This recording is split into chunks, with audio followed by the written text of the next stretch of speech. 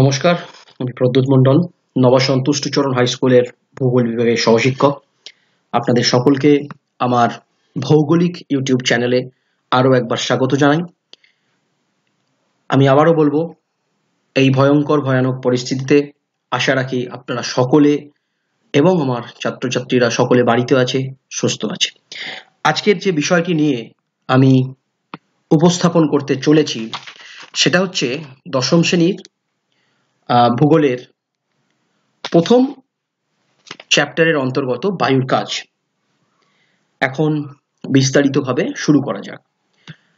আগে জানতে হবে বায়ুর কাজের সার্বিকভাবে বিভিন্ন প্রক্রিয়াগুলো জানার আগে বা বায়ুর কাজের ফলে গড়ে ওঠা ভূমিরূপগুলো জানার আগে যে বিষয়টি জানতে হবে, যে বায়ু মূলত কোন অঞ্চলে, কোন জায়গায় তার কার্যপ্রক্রিয়া সম্পন্ন করে। আমরা জানি বিভিন্ন ভূমিরূপ বিবর্তনকারী শক্তিগুলি রয়েছে। যেমন নদী আছে, হিমবাহ আছে। হিমবাহ একটি স্পেসিফিক নির্দিষ্ট রিজিয়ানে তার কার্যপ্রক্রিয়া সম্পন্ন করে। ঠিক তেমনি বায়ু কোথায় সম্পন্ন করে? এটা, বায়ুর কাজের অঞ্চল কোনটি? এটা জানতে হবে। তো সেইটা দেখানোর জন্য, এটা দেখো, একটা মানচিত্র আমি তুলে ধরেছি, পৃথিবীর মানচিত্র। রেড মার্ক করা যে জায়গাগুলি দেখাচ্ছে, এইগুলো তো মূলত হচ্ছে পৃথিবীর মরু এবং উপমরু অঞ্চল, অর্থাৎ মরুভূমি যুক্ত অঞ্চল আর কি।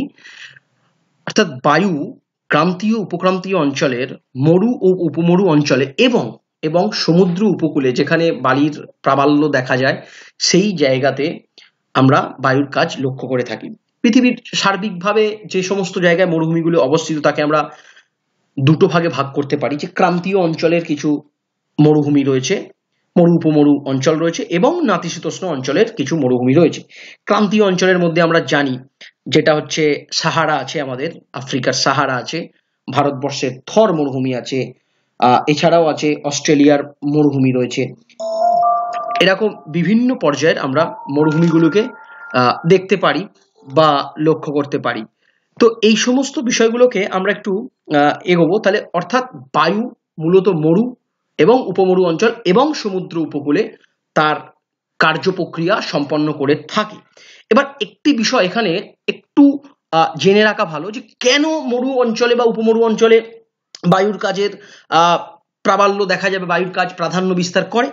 এখানে দুটো, তিনটে ছোট্ট পয়েন্ট খুব ইম্পর্টেন্ট যেটা হচ্ছে এক, যে বালু কণার উপস্থিতি। আমরা জানি মরুভূমিতে যে তাপমাত্রার যে বৈপরীত্য সৃষ্টি হয়, সেই তাপমাত্রার প্রসারতার কারণে যান্ত্রিক আবহবিকারটা বেশি হয়। যার ফলে সেই যান্ত্রিক আবহবিকার থেকে অনেক শিলাখণ্ড চূর্ণ বিচূর্ণ হয়ে বালুকণার উৎপাদনটা বেশি হয়। এটা একটা কারণ। সেখানে বৃষ্টি কম হয়, যার ফলে মৃত্তিকার যে জলের পরিমাণটা মৃত্তিকা স্থিত জলের পরিমাণটার জন্য মৃত্তিকা স্থিত হতে পারে না সেটেলড হতে পারে না। এবং আরও একটা কারণ হচ্ছে উদ্ভিদহীনতা, রুক্ষভূমি। চারিদিকে বালি আর বালি উদ্ভিদ নেই, উদ্ভিদহীন প্রান্তর। মূলত এই কারণগুলোর জন্যই মরু উপমরু অঞ্চলে বায়ুর কাজের প্রাধান্য লাভ করে থাকে। এবারে আমরা এই জায়গাটায় একটি, একটা পরিবেশ, মরু উপমরু অঞ্চলটা কেমন হয়? দেখো, ছবিতে দেখা যাচ্ছে মৃত্তিকাটা ড্রাই, শুষ্ক মৃত্তিকায় ফাটল দেখা গেছে। এছাড়া এখানে দেখতে পাচ্ছি আমরা, কারসারটা লক্ষ্য হলে ক্যাকটাস জাতীয় গাছ, রুক্ষ সূক্ষ্ম প্রান্তর, চারিদিকে বালি আর বালি, এই ক্যাকটাস গাছ। এবারে আমরা সরাসরি চলে যাব বায়ুর কাজ। বায়ু মূলত তিনটে উপায়ে কাজ করে। এক, ক্ষয় ক্ষয় প্রক্রিয়ার মধ্যে যে মূল প্রক্রিয়া, সেটা হচ্ছে অবঘর্ষ, অপসারণ এবং ঘর্ষণ। আমরা পরবর্তী পর্যায়ে আলোচনা করছি। দ্বিতীয় কাজ হচ্ছে বহন। অর্থাৎ যে ক্ষয়ভূত পদার্থগুলো আছে, সেই ক্ষয়ভূত পদার্থগুলোকে বায়ু বইয়ে নিয়ে যেতে পারে, বয়ে নিয়ে যেতে পারে, বহন করে নিয়ে যেতে পারে। বহন প্রক্রিয়ারও কিন্তু কতগুলো উপপ্রক্রিয়া রয়েছে, যেগুলো হচ্ছে ভাসমান, লম্ফদান এবং গড়ানো। এবং সঞ্চয়েরও কিন্তু বায়ু যে শেষ কাজ, সেটা হচ্ছে সঞ্চয়। সঞ্চয়েরও কিন্তু তিনটে প্রক্রিয়া রয়েছে বা উপপ্রক্রিয়া রয়েছে। সাব প্রসেস রয়েছে, সেটা হচ্ছে অধঃপাত উপলেপন, অধিগ্রহণ। অর্থাৎ বায়ু, ক্ষয়, বহন এবং সঞ্চয় তিনটে কাজই করে থাকে। ক্ষয় প্রক্রিয়ার মধ্যে যেটা সব থেকে ইম্পর্টেন্ট তিনটে প্রক্রিয়া কি? অবঘর্ষ, অপসারণ, ঘর্ষণ। বহন প্রক্রিয়া কি? ভাসমান, লম্পদান এবং গড়ানো প্রক্রিয়ার মধ্যে মাধ্যমে বায়ু বহন কাজ করে এবং সঞ্চয় কাজ বলতে কি? সঞ্চয় কাজ তিনটে প্রক্রিয়ার মধ্যে দিয়ে করে, সেটা হচ্ছে অধঃপাত, উপলেপন এবং অধিগ্রহণ। এখন, ক্ষয়ের যে অবঘর্ষ প্রক্রিয়াটা কি? অবঘর্ষ প্রক্রিয়ায় ছবিটা দেখলে আমরা স্পষ্টত লক্ষ্য করতে পারি যে দেখো, বায়ু যে দিক থেকে প্রবাহিত হচ্ছে, বায়ুকণার সাথে যদি কোনো যে যে বায়ুর প্রবাহের সাথে, বায়ুর সাথে যদি বাহিত যে কণাগুলো থাকে, সেই কণাগুলো যদি শিলার পৃষ্ঠে সাথে যদি সংঘর্ষে লিপ্ত হয়, তখন যে প্রক্রিয়ায় ক্ষয় করে সেটা অবকর্ষ প্রক্রিয়া। এই অবকর্ষ প্রক্রিয়ার মাধ্যমে কি হয়? একদিক থেকে যখন বায়ু প্রবাহিত হয় এবং সেই বায়ুর মধ্যে থাকা বায়ুকলাগুলি যখন আঘাত করে শিলার একটি পার্শ্বে আচর কাটে, যখন সেখানে ক্ষয় করে একটা দিক পুরো পলিশড হয়ে যায়, মসৃণ হয়ে যায়, একদম তেলতেলে হয়ে যায়। এইভাবে এইখানে দেখো, এই যে সারফেসটা এখানে কারসাটা লক্ষ্য করো, এই শিলাখণ্ডে যেখানে একটা অমসৃণ ছিল, এই দিক থেকে বায়ু প্রবাহের সাথে যে শিলাখণ্ড বা বালুকণাগুলি রয়েছে, সেগুলো একটা দিকে ধাক্কা দেওয়ার ফলে এই যে সারফেসটা এই দিকের সারফেসটা যেদিকে ধাক্কা মারছে বায়ুটা, সেই দিকে এই অবঘর্ষ প্রক্রিয়ার ফলে এটা মসৃণ পলিশড হয়ে যায়। এরকম এই যে প্রক্রিয়ায় যে শিলাখণ্ডগুলো উৎপন্ন হয়, যদি একটা শিলাখণ্ডে যদি এরকম তিন চার দিক থেকে এরকম পলিশড সারফেস বা মসৃণ সারফেস তৈরি হয়, দেখতে একটা তীক্ষ্ণ ছুরির ফলার মতো হয়ে যায়, তখন তাকে বলা হয় ভেন্টিফ্র্যাক ঠিক আছে? এবারে আমরা চলে আসব অপসারণ। অপসারণ প্রক্রিয়াটা কি? খুব ইম্পর্টেন্ট অপসারণ প্রক্রিয়া হচ্ছে যদি কোনো জায়গায় লুজ মানে অর্থাৎ মানে হচ্ছে সূক্ষ্ম বালুকা পড়ে থাকে, একদম সূক্ষ্ম সূক্ষ্ম বালুকা যদি পড়ে থাকে, এবং সেখানে যদি বায়ুর তীব্র বায়ু প্রবাহিত হয়, সেই বায়ু প্রবাহের দ্বারা বায়ুর গতিবেগের কারণে, বায়ুর শক্তির কারণে সেই উপরিস্থিত যে বায়ু কণাগুলো এই জায়গা থেকে অপসারিত করবে, করে সেই জায়গায় একটা নিম্ন ভূমি বা নিচু ভূমির সৃষ্টি করে, তখন তাকে অপসারণ প্রক্রিয়া বলে। অর্থাৎ এক কথা, একটা জায়গা থেকে যখন কিছু পদার্থ বালুকণাকে যখন অপসারিত করা হয়, সরিয়ে নিয়ে যাওয়া হয়, সেটাই হচ্ছে অপসারণ। অর্থাৎ দেখো, এইখানে অনেকগুলো বালুকণা একটা পরিমাণটা বেশি ছিল, এই দিক থেকে বায়ু প্রবাহিত হচ্ছে, তীরচিহ্ন বা অ্যারোটা লক্ষ্য করো। সেই জায়গায় এখানে বায়ুর পরিমাণ কমছে, নিয়ে অন্য জায়গায় সরাচ্ছে। এই জায়গায় দেখো আরও ফাঁকা হয়ে গেছে। এই যে এই যে শিলাখণ্ড, বৃহৎ শিলাখণ্ডগুলোর মাঝের যে বালু কণাগুলো সেগুলোকে সরিয়ে নিয়ে গেছে এবং একটা নিম্ন বা নিচু ভূমির সৃষ্টি করেছে। এরপরেও একটা প্রক্রিয়া আছে, সেটা হচ্ছে ঘর্ষণ। ঘর্ষণটা কি? বায়ুর গতিবেগের সাথে বায়ুর মধ্যস্থিত যে শিলাখণ্ডগুলো বা বালুকণাগুলো থাকে, সেগুলো যদি নিজেদের মধ্যে পারস্পরিক ঘর্ষ মানে সংঘর্ষে লিপ্ত হয়, সেগুলো আরও সূক্ষ্ম সূক্ষ্ম কণায় পরিণত হয়, সেটাকে তখন আমরা বলব ঘর্ষণ প্রক্রিয়া। এবারে চলে আসব বহন প্রক্রিয়া। বায়ু মূলত তিনটে প্রক্রিয়ায় বহন করে, আগেই আমরা জেনেছি। সেটা কি? ভাসমান এখানে দেখো, লম্ফদান বা লাফানো, গড়ানো প্রক্রিয়া, এই তিনটে প্রক্রিয়া, ঠিক আছে? এই তিনটে এটাকে বলে ভাসমান সাসপেনশন স্যালটেশন এবং ক্রিপিং ইংরেজিতে এই তিনটে প্রক্রিয়া নামকরণ করা হয়। এখন এই ভাসমান প্রক্রিয়া কখন হবে? অর্থাৎ যে বায়ু কণাগুলো, বায়ুর যে কণাগুলো থাকছে বা বায়ু যে সাইজগুলো হয় বায়ুর বালু কণার যে সাইজগুলো হয়, সেই বালু কণার বা বালিকা কণার সাইজগুলো কিন্তু সমান হয় না। কোনোটা ছোট হয়, কোনোটা সূক্ষ্ম হয়, কোনোটা মাঝারি হয়, কোনোটা বড় হয়। যদি সূক্ষ্ম কণাগুলো যেহেতু হালকা হয়, সেই সূক্ষ্ম কণাগুলোকে বায়ুর সাথে ভেসে অনেক দূর যেতে পারে। অর্থাৎ সূক্ষ্ম কণা যদি হয় বায়ু তাকে ভাসিয়ে নিয়ে যেতে পারবে। সাসপেনশন প্রক্রিয়া তখনই হবে।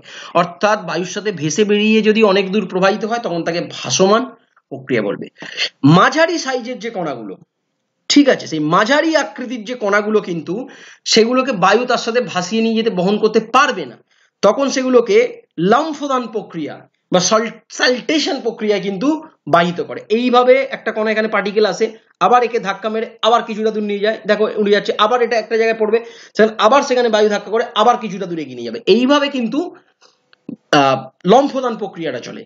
গড়ানো প্রক্রিয়া কি, যাকে ইংরেজিতে বলে ক্রিপিং।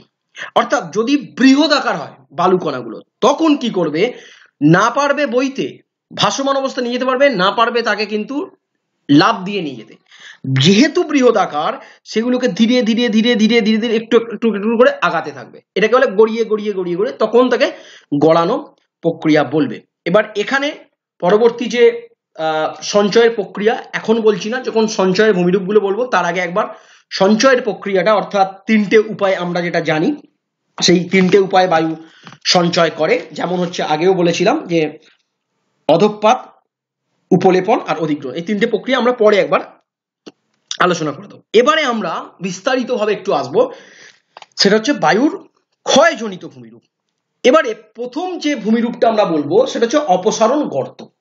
যাকে ইংরেজিতে বলা ডিফ্লেশন হোলোজ এই যে আমরা অপসারণ প্রক্রিয়াটা পড়লাম এক্স্যাক্টলি সেম প্রক্রিয়ায় কিন্তু এই অপসারণ গর্তটা সৃষ্টি হয়। এই জন্যই তার নাম হচ্ছে অপসারণ গর্ত। অবঘর্ষ প্রক্রিয়া যেভাবে আমরা পড়ে এলাম, অবঘর্ষ প্রক্রিয়াতেই কিন্তু অপসারণ গর্ত সৃষ্টি হয়। দেখো, এখানে দেখানো আছে সূক্ষ্ম বালুকণা এবং এটা একটু শিলাখণ্ডগুলো বালুখণ্ড বালুকা খণ্ডগুলো বড়। এবারে বায়ু যদি এই দিক থেকে প্রবাহিত হয় তখন কি হবে? একটা নির্দিষ্ট দিক থেকে বায়ু প্রবাহিত হলে তাহলে এই সূক্ষ্ম বালুকণাগুলোকে বায়ু উড়িয়ে নিয়ে বাহিত করে কোনো নিয়ে অন্য কোনো জায়গায় সঞ্চিত করবে।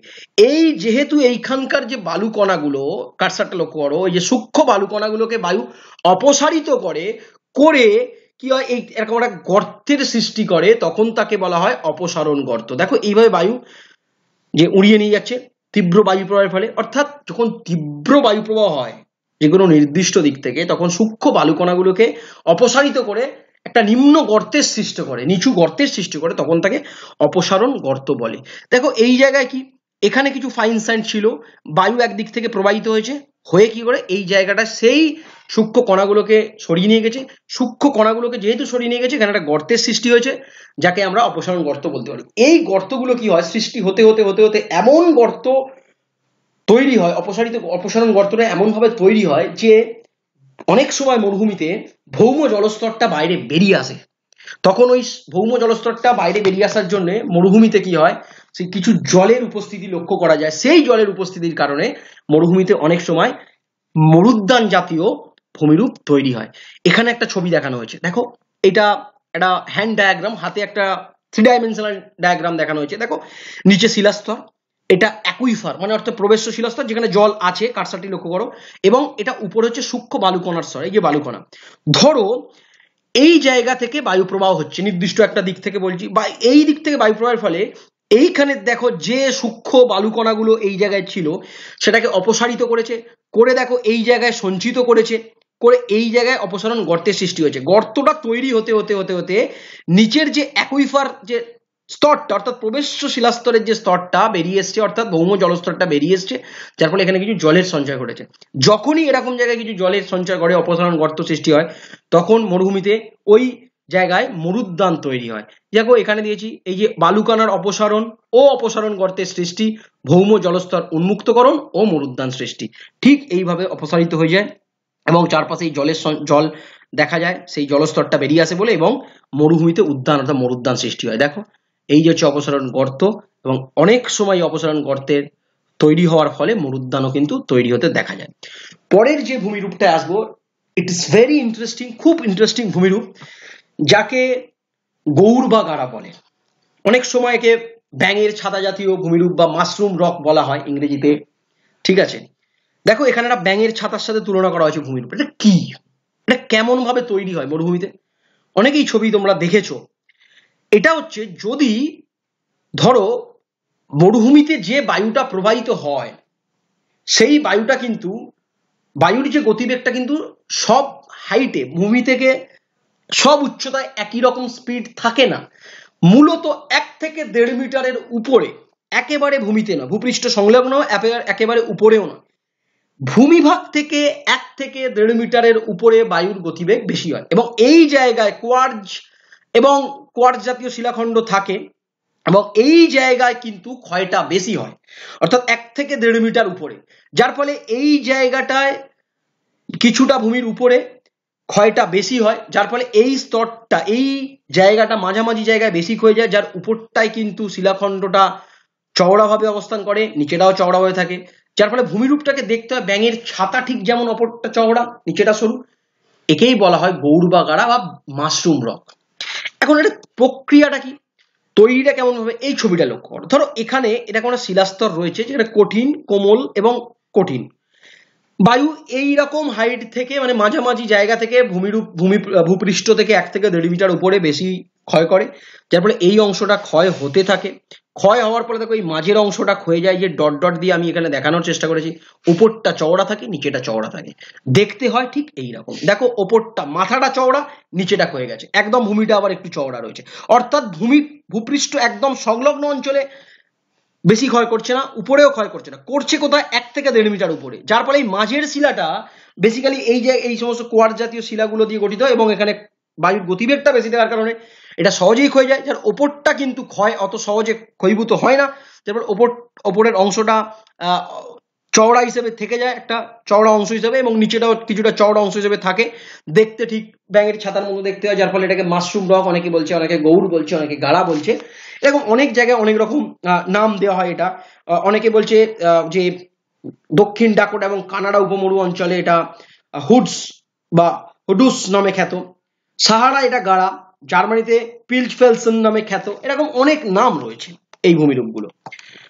এবারে দেখ আমরা যে ভূমিরূপটা, এই যে কিছু গাড়ার এখানে ছবি দেখানো হয়েছে, বা মাশরুম রকের কিছু ছবি দেখানো হয়েছে। এবারে যে ভূমিরূপটা আসব, সেটা হচ্ছে জিউগেন বা জুগ্যান খুব সহজেই এটা বোঝা যাবে। মরুভূমি অঞ্চলে যদি কঠিন আর কোমল শিলা অনুভূমিক ভাবে থাকে অনুভূমিক ভাবে মানে কেমন? একটার উপরে একটা রয়েছে। দেখো, কঠিন শিলা, কোমল শিলা, কঠিন শিলা, এইকে বলে অনুভূমিক ভাবে যদি থাকে, তাহলে কি হয়? অনেক সময় আমরা সব সব সময় জানি যে কঠিন শিলায় ক্ষয় কম হয় এবং কোমল শিলায় ক্ষয় অলওয়েজ বেশি হবে। কিন্তু যেহেতু দেখো এটা কঠিন শিলাটা উপরে আছে, তাহলে কি হয়? যদি কোনো কারণে কঠিন শিলায় ফাটল সৃষ্টি হয়, ঠিক আছে? উপরের কঠিন শিলায় সামান্যতম ফাটল সৃষ্টি হলো, যেই, এই জায়গায় কঠিন শিলার উপরে সামান্যতম ফাটল সৃষ্টি হবে, সেটা হতে পারে রাসায়নিক আবহবিকারের কারণে বা অন্য কোনো কারণেও থাকতে পারে, ভূমিরূপজনিত কারণে। যদি এই জায়গায় ফাটল সৃষ্টি হয়, তাহলে এই কঠিন শিলায় ফাটল সৃষ্টি হলে সেখানে সামান্যতম ফাঁক পেয়ে যাবে, বায়ু সেখান থেকে তার প্রভাব পথ তৈরি করে বায়ু তার ভিতরে ঢুকতে পারবে ক্ষয় করার জন্য। তাহলে কি হবে? এই অবস্থায় পরবর্তীকালে এই কঠিন শিলাগুলোতে বায়ু কম ক্ষয় করবে এবং তার নিচের কোমল শিলাতে অধিক ক্ষয় করবে। যার ফলে এমন একটা ভূমিরূপ সৃষ্টি হবে, কঠিন শিলা একটা চ্যাপটা জাতীয় কম ক্ষয় করে দাঁড়িয়ে থাকবে, মাথাটা চ্যাপটা জাতীয় ফ্ল্যাট হয়ে ফ্ল্যাট টপ যাকে বলা হয় চ্যাপটা জাতীয়, এবং তার নিচের কোমল শিলাটায় দেখো অধিক ক্ষয় করেছে। এখানে কম ক্ষয় কিন্তু কঠিন শিলায় নিচের কোমল শিলাটা যখনই বায়ু পৌঁছেছে, তখন এই জায়গায় কিন্তু অধিক ক্ষয় করেছে, করে কি কঠিন শিলাগুলো চ্যাপটা মাথা বিশিষ্ট হয়ে দাঁড়িয়ে থাকে এবং কোমল শিলার জায়গাটা দেখো নিচু হয়ে যায়। এই যে, এই দিক থেকে বায়ু তার প্রভাব পথ তৈরি করে নিয়েছে, কঠিন শিলার অবস্থান করছে। এই রকম ভাবে কিন্তু যখন যে ভূমিরূপগুলো তৈরি হবে, তাকে জিওজ্ঞান বলে। এখানে কিন্তু প্রকৃতপক্ষে বায়ুপৃষ্ঠে যে মানে মরুভূমি অঞ্চলে যে জিওজ্ঞানগুলো সৃষ্টি হয়, এ দেখানো আছে। এই যে অংশটা দেখো, লক্ষ্য করো, এগুলো কঠিন শিলা, কম ক্ষয় দেখো, এটা কিন্তু ফ্ল্যাট টপ বা চ্যাপ্টা হিসেবে দাঁড়িয়ে আছে, আর তার নিচের কোমল শিলা দেখো অধিক হয়ে গেছে, এখানেও তাই সেম ওয়েতে দেখানো আছে। এবার এরকমই আর একটা ভূমিরূপ হচ্ছে জিউজ্ঞান, এই সরি ইয়ারদাং ইয়ারদাংটা কি? ঠিক যেভাবে জিউজ্ঞান সৃষ্টি হলো জিউজ্ঞানে আমরা কি দেখলাম? না, কঠিন শিলা এবং কোমল শিলাটা অনুভূমিক ভাবে যদি এই কঠিন কোমল শিলাটা অনুভূমিক ভাবে না থেকে, যদি উল্লম্ব ভাবে থাকে, অর্থাৎ ভার্টিক্যালি যদি থাকে, দেখো কঠিন শিলা, লম্বা, এইখানে প্রথমে, তার পাশে দাঁড়িয়ে আছে কোমল শিলা। কঠিন শিলা, কোমল শিলা, কঠিন শিলা, কোমল শিলা। ওখানে যেমন একটার উপরে একটা ছিল এটা একটার পাশে একটা আছে, কঠিন শিলা, তারপরে কোমল শিলা। কঠিন শিলা, তারপরে কোমল শিলা। এইভাবে যদি থাকে, অর্থাৎ উল্লম্বভাবে থাকে যদি ভার্টিক্যালি যদি থাকে, তাহলে সেম ওয়েতে কঠিন শিলা কম ক্ষয় পাবে, তার পার্শ্ববর্তী কোমল শিলাটা কিন্তু বেশি ক্ষয় পাবে। তাহলে কঠিন শিলার জায়গাটা উঁচু, কোমল শিলার জায়গাটা নিচু হবে। এই দেখো, যদি হয়, তাহলে পরবর্তী, এই যে বায়ুপ্রবাহের দিক, তার ফাঁকা জায়গা করে নিয়েছে কোমল শিলার উপর দিয়ে বেশি ক্ষয় করে, বেশি নিচু করে দিয়েছে। এই ভূমিরূপকে, অর্থাৎ যদি কঠিন শিলা এবং কোমল শিলা উল্লম্বভাবে অবস্থান করে এবং কঠিন শিলায় কম ক্ষয়, কোমল শিলায় বেশি ক্ষয় পেয়ে যে ভূমিরূপটা তৈরি করল, তখন তাকে বলবে ইয়ারদাং বলা হবে। এই হচ্ছে ইয়ারদাং এর দেখো, এই যে মধ্যবর্তী কোমল শিলার ক্ষয় এবং এখানে কঠিন শিলার অবস্থান। এই হচ্ছে ইয়ারদাং। এই যে কঠিন, এগুলো কঠিন শিলা হিসেবে দাঁড়িয়ে আছে, মধ্যবর্তী কোমল শিলাগুলো বেশি ক্ষয় পেয়ে গেছে। এই হচ্ছে ইয়ারদাং। এগুলো কঠিন শিলা, কিন্তু এর মধ্যবর্তী দেখো, কোমল শিলাগুলো সব ক্ষয়ে গেছে। এটা হচ্ছে প্রকৃত ভূপৃষ্ঠে এগুলো ইয়ারদাং এর ছবি। এখন আমরা একটু তাহলে, এটা খুব ইম্পর্টেন্ট যে দুটোর পার্থক্য কম্পেয়ার করতে পারি কীভাবে। তাহলে এটা সহজেই কম্পেয়ার করতে পারি তোরা দুটোর প্রক্রিয়া কিন্তু কাছাকাছি, এক। কিন্তু বেসিক কতগুলো সূক্ষ্ম পার্থক্য রয়েছে এই জিউগেন এবং ইয়ারদাং এর মধ্যে। এখন জিউগেনটা কি? জিউগেনটা দেখো, আমরা সবসময় জানি কি, জিউগেন আর ইয়ারদাং যদি পার্থক্য করি, তাহলে কি দুটো পাশাপাশি ছবিকে যদি আমরা কম্পেয়ার করি, খুব স্পষ্টত বোঝা যাবে যে জিউগেনের ক্ষেত্রে কঠিন শিলা, কোমল শিলা অনুভূমিকভাবে থাকে আর ইয়ারদাং এর ক্ষেত্রে কঠিন শিলা, কোমল শিলা উল্লম্বভাবে থাকে। ঠিক আছে? অর্থাৎ শিলার বিন্যাসে কিন্তু পার্থক্য রয়েছে। আকারটা কেমন? আকারটা হচ্ছে জিউগ্যাংয়ের জিউগ্যানের ক্ষেত্রে কি হয়? এই যে কঠিন শিলার মাথাটা চ্যাপটা হয়। কিন্তু ইয়ারদাংয়ের ক্ষেত্রে মাথা মোরগের ঝুঁটির মতো ছুঁচালো। হয় আগের ছবিতে দেখলে আমরা বুঝতে পারব এই যে ছুঁচালো। অন্যদিকে কিন্তু দেখো এই যে ছবিটা আমি একটু জিউগেনের ছবিতে একটু ফিরে যাই। এই যে জিউ এটা হচ্ছে জিউগেনের ছবিটা যদি দেখি জিউগেনের ছবিটা কিন্তু ফ্ল্যাট একদম মাথাটা চ্যাপটা। কিন্তু এর ক্ষেত্রে আমরা কি দেখি ইয়ারদাং এর ক্ষেত্রে মাথাটা কিন্তু হয় কি মোরগের ঝুটির মতো খোঁচার মতো ঝুটির মতো জ্বলে থাকে। আচ্ছা। এবারে বলি কি এবারে হচ্ছে জিউগেন জিউগেনের ক্ষেত্রে কি হয়? ঢাল প্রায় দুদিকে এই দিকেও যা থাকে এই দিকেও সমান থাকে। কিন্তু এই দিকে মানে ইয়ারদাং এর ক্ষেত্রে এই কঠিন শিলাখণ্ডের ঢালটা দুদিকে সমান থাকে না। এবং এইগুলো মূলত পার্থক্য করা যেতে পারে। এবারে আমরা আসব কি? ইনসেল বার্চ বায়ুর ক্ষয়কাজের ফলে গড়ে ওঠা একটি বিশেষ ভূমিরূপ হচ্ছে ইনসেল বার্চ এখন এই ইনসেল বার্চ কথাটার অর্থ কি? জার্মান এটা একটা শব্দ, যার অর্থ হচ্ছে দ্বীপ শৈল সাধারণভাবে যদি কোনো মরু মরুপ্রায় অঞ্চলের একেবারে ক্ষয়চক্রের শেষে যে কঠিন শিলাগুলি থাকে, সেগুলো অবশিষ্ট ছোট ছোট একটা ঢালু পাহাড় হিসেবে অবস্থান করে, তখন তাকে বলা হয় ইনসেল বাজ আমরা তখন তাকে কি বলতে পারি? তাহলে সেই ভূমিরূপটাকে আমরা ইনসেলবার্ট বলতে পারি। অর্থাৎ এটার বৈশিষ্ট্য কি? এটার ক্যারেক্টার কি? এটার ক্যারেক্টার হচ্ছে প্রথমত এটা হচ্ছে অনুচ্চ, উচ্চতা বেশি হবে না। এটার সমতল একটা ঢাল থাকবে এবং রাউন্ড টপ একটা রাউন্ডেড শেপ ওপরের দিকে থাকবে একটা। গোলাকৃতি একটা অবশিষ্ট টিলা হিসেবে অবস্থান করে। মূলত পশ্চিম অস্ট্রেলিয়া মানে কালাহারি মরুভূমি নাইজেরিয়া এই ধরনের বিভিন্ন ভূমিরূপগুলো দেখতে পাওয়া যায়। এটা তার প্রসেসটা দেখানো আছে। এটা মূলত গ্রানাইট জাতীয় যে শিলাস্তর, সেখানে কিন্তু এই ইনসেলবার্চ গঠিত হতে দেখা যায়। প্রথমে উপরের দিকে শিলাস্তরে দারুণ ফাটল সৃষ্টি হয়, সেগুলো আবহবিকারগ্রস্ত হয়। সেই আবহবিকারের ফলে যখন গ্রস্ত উপরের যে শিলাস্তরগুলো অপসারিত হয় এবং কঠিন যে গ্রানাইট শিলার যে, এটা চ্যাপটা, পাহাড়, গোলাকার পাহাড় হিসেবে, অবশিষ্ট হিসেবে ইনসেলবার্জের অবস্থান লক্ষ্য করা যায়। এই হচ্ছে ইনসেলবার্জের ছবি ফ্ল্যাট টপ মানে রাউন্ডেড টপ আর কি, গোলাকৃতি একটা টিলা বিশিষ্ট অবস্থান করছে। এবারে আমরা যেটা পড়ব, যেটা জানব, সেটা হচ্ছে বায়ুর সঞ্চয় কাজের ফলে গড়ে ওঠা বিশেষ কতগুলো ভূমিরূপ। সঞ্চয় কাজকে আমরা মূলত দুটো ভাগে ভাগ করে নিয়ে আলোচনা করতে পারি। এক হচ্ছে বালিয়ারি এবং দুই হচ্ছে লোয়েস। বালিয়ারির মধ্যে বালিয়ারিকে আমরা একটু শ্রেণি বিভাজিত করে নিই। সেটা সুবিধা হবে। এক হচ্ছে বারখান বা তির্যক বালিয়ারি সিফ বা অনুদৈর্ঘ্য বালিয়ারি এবং কিছু অন্যান্য বালিয়ারি রয়েছে। আর একটি তো লোয়েস এখন আমরা বালিয়ারিতে চলে আসি। তো মূলত ভূবিজ্ঞানী বাগনল্ড বালিয়ারিকে দুটো শ্রেণীতে ভাগ করেছিলেন। একটা বলছেন তির্যক বালিয়ারি আর দ্বিতীয়টি বলছেন তির্যক নয়, সেটা হচ্ছে আমরা পরে আসব শিব বা অনুদৈর্ঘ্য বালিয়ারি এখন বারখান বালিয়ারিটা কি? বলছে বারখান বালিয়ারি মাত্রই কিন্তু তির্যক বালিয়ারি হয়। অর্থাৎ যদি কোনো বালিয়ারি আচ্ছা আগে জেনে নিতে হবে বালিয়ারি বালিয়ারি হচ্ছে চলমান বালির স্তূপ। অর্থাৎ মরুভূমি অঞ্চলে বায়ু যখন বিভিন্ন বালুকণার সঞ্চয় ঘটায়, যে ঘটিয়ে যে বালির স্তূপ তৈরি করে, যেটা কিন্তু স্থায়ী নয়, সেটা তার অবস্থানটা আবার সরেও যেতে পারে পরবর্তীকালে বায়ু প্রবাহের কারণে। সেই বালির স্তূপকে অর্থাৎ চলমান বালির স্তূপকে, অস্থির বালির স্তূপকে, অস্থায়ী বালির স্তূপকে আমরা বালিয়ারি বলতে পারি। বালি এক কথায় বালির স্তূপ, যেটা চলমান। বালিয়ারি কোনোদিন স্থির হয় না। কেন স্থির হয় না? কারণ আজ যেখানে বালিয়ারি সঞ্চিত হয়েছে যদি পরবর্তীকালে বায়ু প্রবাহ আবার হয়, কোনো অন্য দিক থেকে সেই বালিয়ারির অবস্থান সঞ্চিত হবে। ঠিক সমুদ্র উপকূলে যদি কেউ আমরা দেখব অনেক সময় পুরী বা দীঘার বিচে যখন আমরা যাই, একটা বালি দিয়ে কিছু একটা ভাস্কর্য করার চেষ্টা করি। পরে যখন সেটা ঢেউ আসে, আবার সেটা মানে স্থায়ী নয় সেটা ধুয়ে নিয়ে চলে যায়। সেরকমই মরুভূমি অঞ্চলেও কিন্তু একই ঘটনা বালিয়ারির ক্ষেত্রে ঘটে থাকে। যে জায়গায় আজকে বালিয়ারি গঠন হয়েছে, সেটা পর মানে নাও থাকতে পারে। অর্থাৎ বালিয়ার অবস্থা স্থির নয়, কারণ বালিয়ারি মানেই হচ্ছে কিন্তু চলমান বালির স্তূপ। এবারে ফিরে আসি বারখান বা তির্যক বালিয়ারি কি?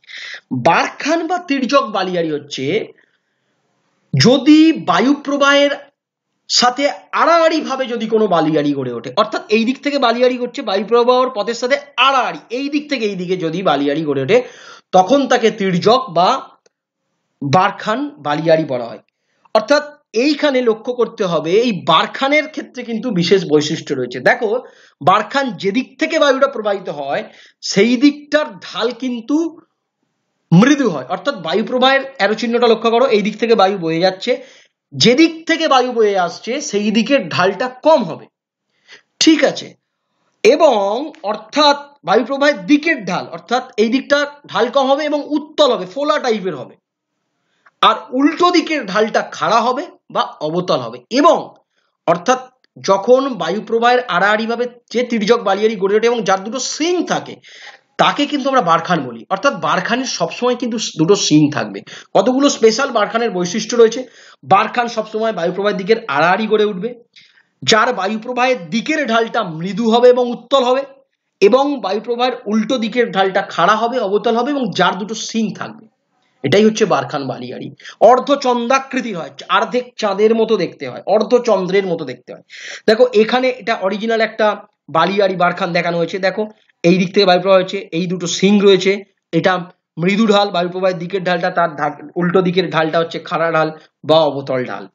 এখন এই দেখো এটা বায়ুপ্রবাহ দিক, এখানে অনেকগুলো বারখান গড়ে উঠেছে। প্রসঙ্গে বলে রাখি যে, অনেকগুলো বারখান যখন পাশাপাশি গড়ে ওঠে মরুভূমিতে পর পর পর পর একটা ঢেউ খেলানোর মতো, তখন তাকে বারখান কলোনি বলে। এটা একটা ইম্পর্টেন্ট তথ্য দিয়ে রাখলাম। এখানে ঠিক ওইভাবে দেখো বারখান। এটা বায়ুপ্রবাহের দিক, মৃদু ডাল খাড়া ডাল দুটো সিং। এবারে হচ্ছে কি শিব বালিয়াড়ি শিব কথার অর্থ হচ্ছে তরবারি। শিব বালিয়ারির অপর নাম হচ্ছে অনু দৈর্ঘ্য বালিয়াড়ি কেন এরম নাম দেওয়া হলো?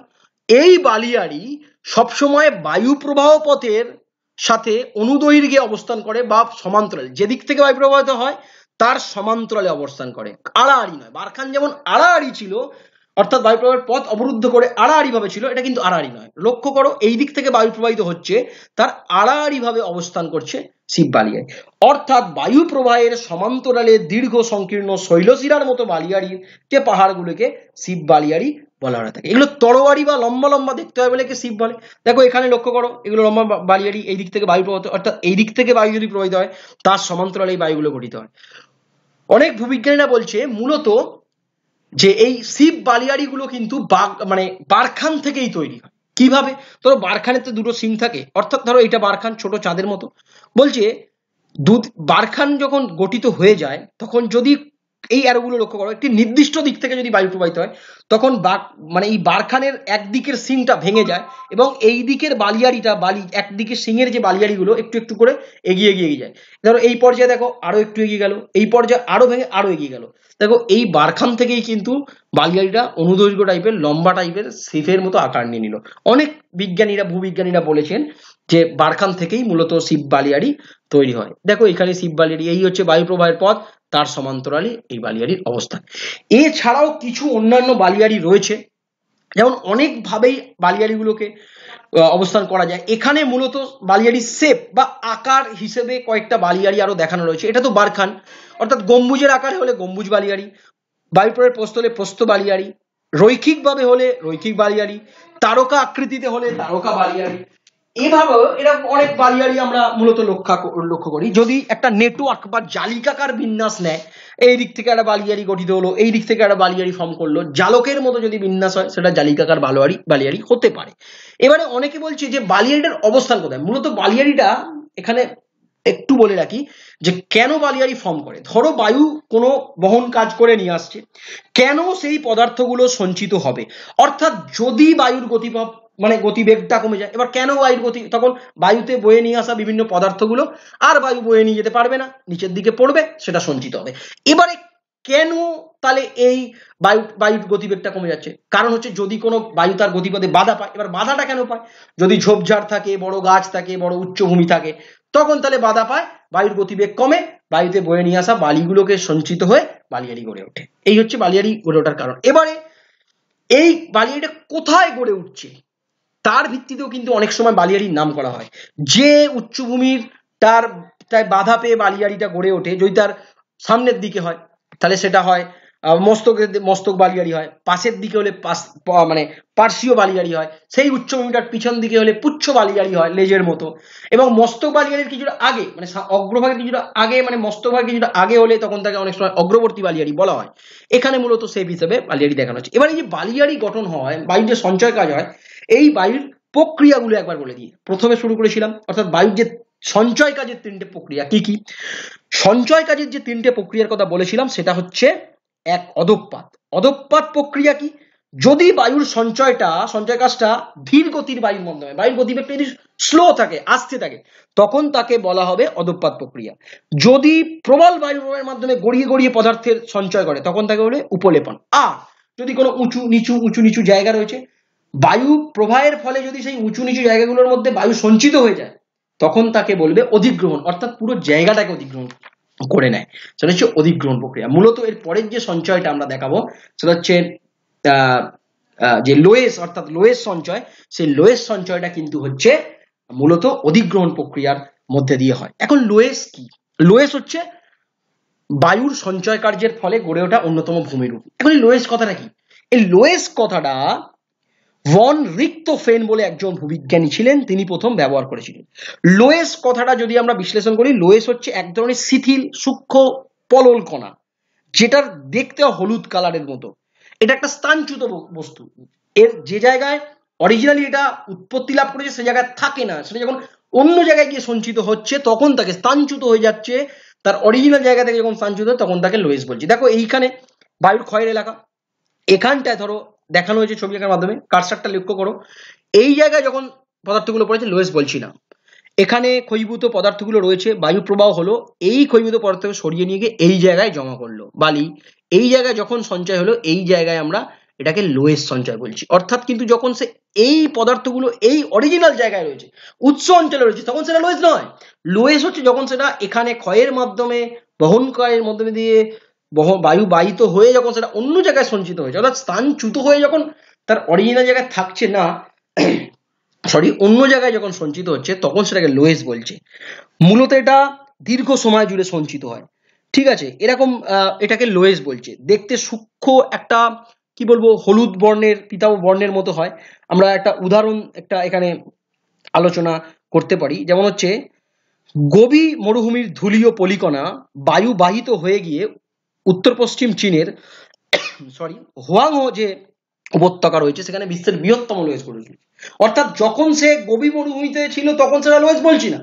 ওই গবি মরুভূমি থেকে বায়ু যখন তাকে বহন করে নিয়ে গিয়ে, যখন হোয়াংহো উপত্যকায় সেটাকে জমা করছে ডিপোজিট করছে, সঞ্চয় করছে, তখন সেটা লোয়েস দেখো, এইখানে এই লোয়েসের সঞ্চয়, হলুদ বর্ণের একটা সঞ্চয় দেখানো হয়েছে। এই হচ্ছে বায়ুর সঞ্চয় কাজ। এবারে, বিশেষ কতগুলো ভূমিরূপ দেখা যায়, খুব ইন্টারেস্টিং যেগুলো হচ্ছে শুধু বায়ুর ক্ষয়ের কাজের ফলে নয়, যেগুলো হচ্ছে বায়ু এবং জলধারার কাজের ফলে গঠিত হয়ে থাকে। এবার এক্ষেত্রে বলতে গেলে, আমরা জানি কি, মরুভূমিতে বৃষ্টিপাত হয় না, সচরাচর হয় না। কিন্তু যখন বৃষ্টিপাতটা হয়, তখন হঠাৎ করে সেখানে হরকা বান বা ফ্ল্যাশ ফ্ল্যাটের সৃষ্টি হয়। একবারে হয়তো ঝট করে বৃষ্টিপাত হয়ে গেল, কিছু পদার্থ সে খইয়ে নিয়ে উচ্চভূমি থেকে সেই সেই জলপ্রবাহ সাথে পদার্থ ক্ষয়ে বেরিয়ে চলে এলো এবং পর্বতের পাদদেশে কিছু বিশেষ বৈশিষ্ট্য আকারে সেগুলো সজ্জিত হয়ে গেল। অর্থাৎ বায়ু এবং যেটা জলধারা সেখানে সৃষ্টি হচ্ছে, সেই বায়ু এবং জলধারার সম্মিলিত কার্যের ফলে কতগুলো ভূমিরূপ তৈরি হয়। যেগুলো হচ্ছে কি কি? মূলত চারটে ভূমিরূপ রয়েছে, সেটা হচ্ছে ওয়াদি, পেডিমেন্ট, বাজাদা, প্লায়া। যেগুলো কি? বায়ু এবং জলধারার কাজের ফলে গঠিত হয় এই জলধারাটা কোথেকে আসে? আবারও বলে দিচ্ছি, হঠাৎ করে মরুভূমিতে যদি বৃষ্টিপাত হয়, তাহলে ফ্ল্যাশ প্যাড বা হরকাবানের সৃষ্টি হয়। তখন যখন হরকাবানের সৃষ্টি হয়, তখন কিছু পদার্থ উচ্চভূমি থেকে ক্ষয় করে নিয়ে চলে আসে। সেটা পর্বতের পাদদেশীয় বা উচ্চভূমির পাদদেশীয় অংশে সঞ্চিত হয়ে বিভিন্ন বিন্যাস অনুসারে বিভিন্ন ধরনের কয়েকটা ভূমিরূপ করে তোলে, যেটাকে বলা হয় ওয়াদি, পেডিমেন্ট, বাজাদা, প্লায়া। এবং তাহলে এই ভূমিরূপগুলোতে আস্তে আস্তে আসি। দেখো, এখানে ছবিটার মাধ্যমে দেখিয়েছি, ওয়াদি এ দেখো, এইখানে দেখতে পাচ্ছ, এটা হচ্ছে আমরা বলতে পারি বাজাদা। এই এই অংশটা পেডিমেন্ট এবং প্লায়া। ডিসকাস করি, পরে আমরা বিস্তারিতভাবে আসি। ওয়াদি এক কথায় ওয়াদি হচ্ছে, যদি মরুভূমি অঞ্চলে কোনো শুষ্ক নদীখাত দেখা যায়, কি দেখা যায়? শুষ্ক নদী নদীখাত ড্রাই রিভার বেড যেখানে শুধু পলি পলে থাকে, জল থাকে না। শুষ্ক নদী খাত যদি মরুভূমি অঞ্চলে বা উপমরু মরু অঞ্চলে দেখতে পাই, তখন তাকে ওয়াদি বলে।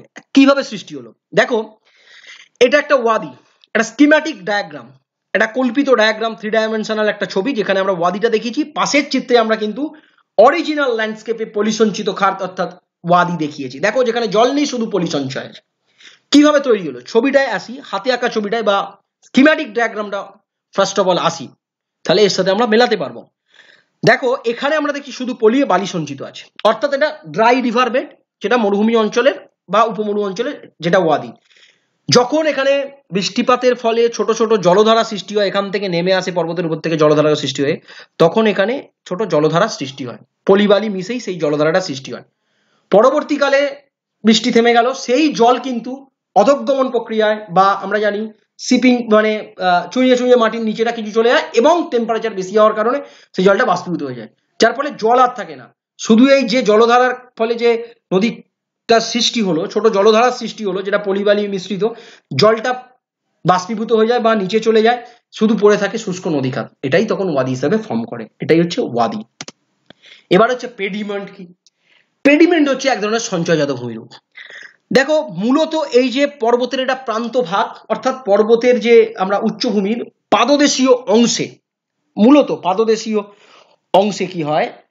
না, যত ক্ষয়তে থাকে এটা অর্থাৎ সেই পশ্চাৎ প্রসরণ করে। এই ক্ষয়ে যাওয়া অংশগুলো সোন পর্বতের পাদদেশেই সঞ্চিত হয়ে একটা উত্তল ঢাল বিশিষ্ট, দেখো এখানে উত্তল ঢালের সৃষ্টি হয়, জলধারার প্রভাব পড়ে। পাদদেশেই উত্তল ঢাল বিশিষ্ট একটা ভূমিরূপ গড়ে তোলে, যাকে আমরা নাম দিয়েছি পেডিমেন্ট। এইখানটা দেখো, এইখানেও একটা পর্বতের পাদদেশ। ঠিক এই জায়গাটা যে উত্তল ঢাল বিশিষ্ট একটা ভূমিরূপ, যেটা পর্বতের পাদদেশে, অর্থাৎ এই পর্বতের পশ্চাৎ প্রসরণ ক্ষয়ের ফলে যত সরে যায়, পর্বতের ক্ষয়ীভূত অংশগুলি এই পর্বতের পাদদেশে সঞ্চিত হয়ে যে ভূমিভাগটা গড়ে তোলে, তাকে আমরা পেডিমেন্ট নাম দিতে পারি। ঠিক আছে, এই যে এই অংশটা উত্তল ঢাল বিশিষ্ট, এটা হচ্ছে পেডিমেন্ট। এবারে আরও একটা ভূমিরূপ হয়েছে, সেটা হচ্ছে কি? বাজাদা। আমরা যদি মূলত এই ছবিটায় দেখি, পরপর তো ভূমিরূপ থাকে দেখো, এই জায়গাটা হচ্ছে যদি পেডিমেন্ট হয়, তার সামনেটাই হচ্ছে বাজাদা। অর্থাৎ এই বাজাদা কীভাবে গঠিত হয়?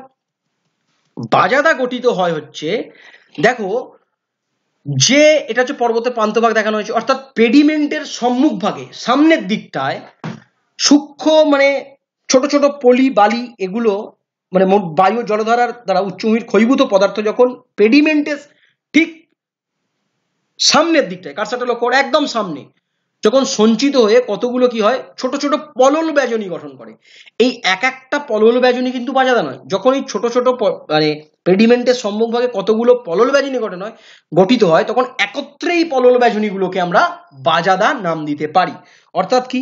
সংক্ষেপে বলতে গেলে মরু অঞ্চলে বায়ু ও জলধারা উচ্চভূমির ক্ষয়ীভূত পদার্থ নিচে এসে পেডিমেন্টের সামনে একাধিক পলল ব্যাজনী গঠন করে, সেগুলো একত্রিত হয়। অর্থাৎ একটা পলল ব্যাজনী কিন্তু বাজাদা নয়, এটা একটা পলল ব্যাজনী এটা একটা পলল ব্যাজনী এই সামগ্রিকভাবে অনেকগুলো পলল ব্যাজনীকে একত্রে নিয়ে একটা বাজাদা গঠন করে।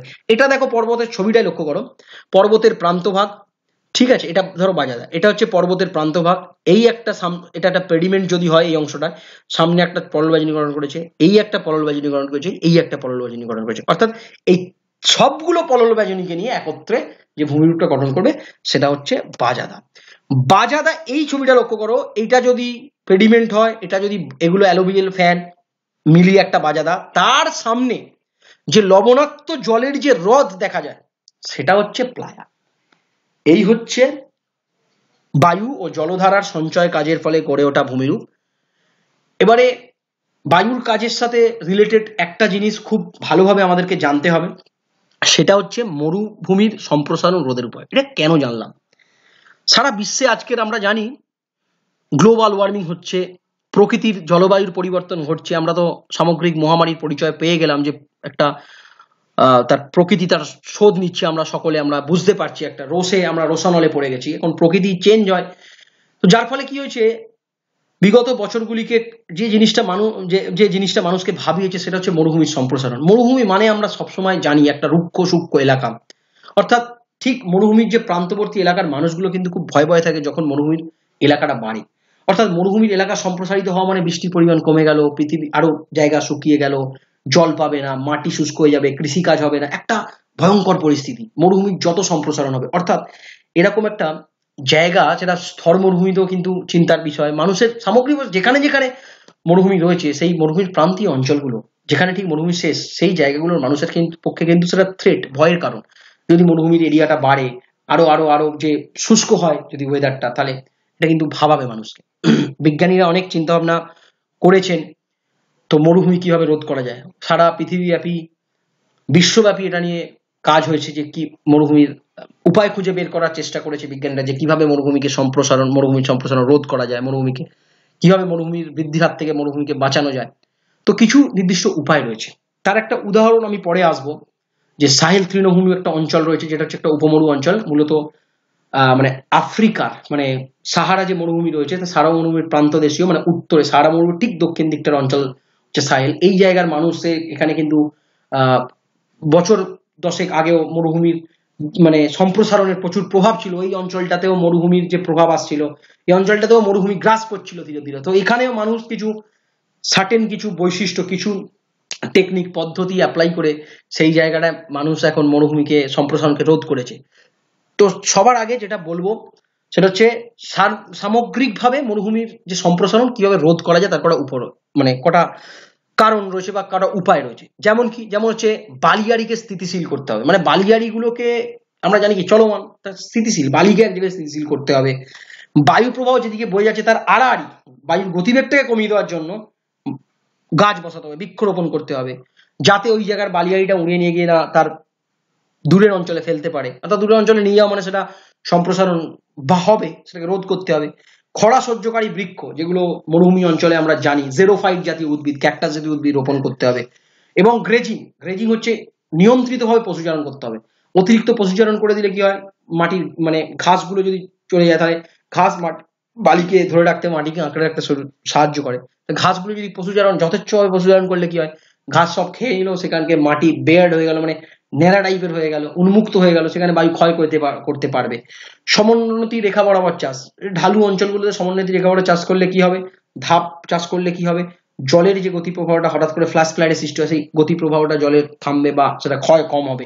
শস্যাবর্তন উপমরু অঞ্চলে খুব ইম্পর্টেন্ট মাটিকে ক্ষয়কে নিয়ন্ত্রণ করার জন্য। এবং সেচ দ্বারা মৃত্তিকার জল সংরক্ষণ। অর্থাৎ মরুভূমি অঞ্চলে কি মৃত্তিকার জল থাকে না, তাই মৃত্তিকা স্থিত হতে পারে না কণাগুলো। জল দিয়ে মৃত্তিকা সেচ করে সেখানে সেচ প্রক্রিয়ার দ্বারা মৃত্তিকা স্থিত করতে হবে। এই কটা প্রক্রিয়া নেওয়া যেতে পারে। আমরা জানি, ভারতবর্ষের ক্ষেত্রে যোধপুরে আমরা জানি central arid zone research institute রয়েছে, যোধপুরের সদর দপ্তর। এরা সামগ্রিক ভারতবর্ষের যে মরুভূমির সম্প্রসারণ কীভাবে রোধ করা যায়, মরুভূমি অঞ্চলের সামগ্রিক উন্নয়নে এখন কাজ করে চলেছে। সারা শুধু এখানে নয়, সারা বিশ্বব্যাপী কাজ হচ্ছে। তো আমি একটা ছোট্ট উদাহরণ দিয়ে দেখানোর চেষ্টা করছি, দেখো। এইভাবে, দেখো গ্রিড করে দিচ্ছে, তার জাল দিয়ে দিচ্ছে, তার মধ্যে ঘাস বসি মানে চারণ করছে যেখানে এবং এগুলো হচ্ছে বালিয়ারি স্থিত করার পদ্ধতি। বালিয়ারিকে কীভাবে স্থিত করা যায়? এই হচ্ছে ক্যাকটাস জাতীয় গাছ, খরা প্রতিরোধী ক্যাকটাস গাছের রোপণ করা হয়েছে, এখানে ধাপের মাধ্যমে চাষ করা হয়েছে। এটা হচ্ছে আফ্রিকার যে সাহেল অঞ্চলটা বললাম, অর্থাৎ আফ্রিকার সাহেল অঞ্চলটা ঠিক হচ্ছে সারা মরুভূমি যেখানে অবস্থিত, তার ঠিক দক্ষিণ ভাগের অঞ্চল। এখানে প্রচুর মরুভূমির কিন্তু প্রভাব বৃদ্ধি পাচ্ছিল। এই অঞ্চল উপমরু অঞ্চল বা মরুভূমির প্রান্তদেশীয় অঞ্চল, এই অঞ্চলেও কিন্তু মরুভূমির প্রভাব আস্তে আস্তে, এখানে জলবায়ু পরিবর্তন হচ্ছে অঞ্চল শুষ্ক হয়ে যাচ্ছে, চাষবাস কমে যাচ্ছিল। এখানে কিছু পদ্ধতি কিন্তু অ্যাপ্লাই করা হয়েছে। কি কি? উন্নত নিয়ন্ত্রিত পশুচারণ। মানে অর্থাৎ কন্ট্রোল করেছে, যথেচ্ছভাবে পশুচারণ করেনি, সেটা করেছে আরও কি করেছে? দ্রুত বৃদ্ধি সম্পন্ন ঘাস রোপণ, যেগুলো খুব ফাস্ট গ্রোয়িং যে গ্রাসেস সেইগুলোকে রোপণ করেছে। অর্থাৎ গ্রাস হয়ে গেলে মাটির যে ন্যাড়া মাটিকে আবরণ হয়ে যায়, বৃষ্টির মানে আঘাত সহজে সহ্য করতে, বৃষ্টির আঘাত পড়ে না, সেই মাটি সহজে ক্ষয় হয় না। এটা একটা কারণ উপায় তারা নিয়েছে। সর্বোপরি জন্মহারকে তারা নিয়ন্ত্রণ করেছে। আমরা জানি কি, জন্মহার বাড়লে, মানুষ বাড়লে কি হয়? প্রকৃতির উপর চাপ পড়ে, আমরা জানি। সেই প্রকৃতির উপর চাপ পড়লে যথেচ্ছ হারে বৃক্ষরোপ মানে বৃক্ষচ্ছেদন হয় সেটা বৃক্ষচ্ছেদন হলে যথেচ্ছভাবে সেখানে মৃত্তিকার ক্ষতি হয়। এছাড়া সেচের উদ্দেশ্যে বৃহৎ স্কেলে বাঁধ নির্মাণ, জলের যে বাঁধ নির্মাণ করা হয়েছে। জ্বালানির চাহিদা মেটাতে দ্রুত বৃদ্ধিশীল গাছ রোপণ করেছে, নাহলে অন্য গাছ যাতে যথেচ্ছভাবে না কাটতে হয়। সেচ খাল নির্মাণ করে তারা মৃত্তিকাকে স্থিত করার চেষ্টা করেছে এবং উচ্চ ফলনশীল বীজের তারা চাষ করেছে। এইভাবে মোটামুটি ভাবে আফ্রিকার সাইল তৃণভূমি অঞ্চলেও মরুভূমির যে সম্প্রসারণ, তাকে রোধ করা সম্ভব হয়েছে। এই হচ্ছে আমাদের আজকের বিষয় ছিল। আবারও স্টুডেন্টদের বলব যে যদি এই পাঠটা তোমরা নিয়ে বই দেখে পড়ার চেষ্টা করো যদি কোনো অসুবিধা থাকে আমার সাথে সরাসরি যোগাযোগ করতে পারো। সকলকে শেষে আহ, আরও একবার ধন্যবাদ জানিয়ে আজকে আমি আমার এই উপস্থাপনাটিকে আজকের